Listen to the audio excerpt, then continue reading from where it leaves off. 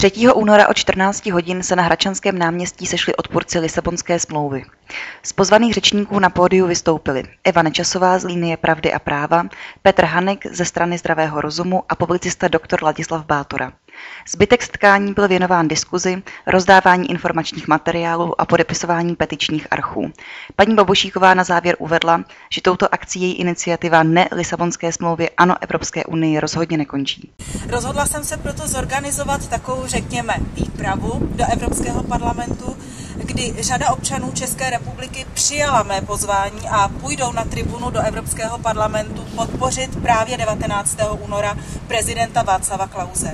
Je mezi nimi pan Petr Hanek, je mezi nimi paní magistra Nečasová, ale je mezi nimi také například irský podnikatel Declan Genley, který přijal mé pozvání a bude podporovat Václava Klauze na tribuně. Je mezi nimi také předseda přípravného výboru strany svobodných občanů Petr Mach a tak dále a tak dále. Takže tito všichni pojedou podpořit 19. února do Bruselu prezidenta Václava Klauze a při té příležitosti budeme v Evropském parlamentu rozdávat tuto čtyřjazyčnou publikaci, která hovoří o tom, jak se právě český prezident Václav Klaus dívá na Lisabonskou smlouvu.